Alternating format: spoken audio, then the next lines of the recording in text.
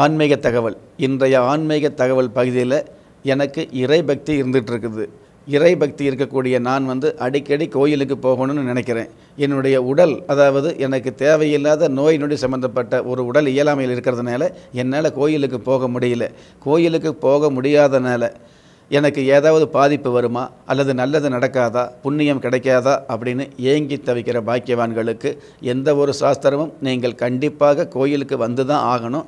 அப்படி வாராமல் இருந்தால் உங்களுக்கு கெடுதல் வரும் அப்படிங்கிற விஷயத்தை சாஸ்திரங்கள் சொல்ல கிடையாதுங்க. பயப்பட வேண்டாம் சஞ்சலப்பட வேண்டாம்.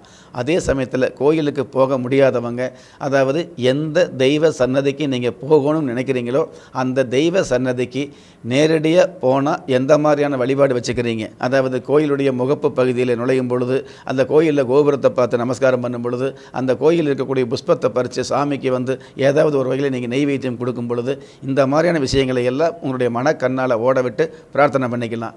இன்னும் அதிகபட்சமாக அதாவது மாதம் கார்த்திகை மாதமாக இருக்கிறதுனால வெகு சீக்கிரமே இந்த கார்த்திகை மார்கழி மாதங்களில் வந்து கடவுளுடைய அனுகிரகத்தை அடைவதற்கு வெகு சீக்கிரமே பெறுவதற்கு அதாவது ஆயிரத்தெட்டு ஆயிரக்கணக்கான வழிகள் இருந்துகிட்டு இருக்குது. அதில் சுருக்கமான வழி வந்து பார்த்திங்கன்னா சபரிமலைக்கு மாலையிட்டு செல்லக்கூடிய அந்த சுவாமி பக்தர்களை வந்து நீங்கள் நேரடியாக பார்க்கும்போது ஒரு நமஸ்காரம் அதாவது உங்களுடைய மனசுக்குள்ளே ஒரு நமஸ்காரம் வச்சுக்கலாம்.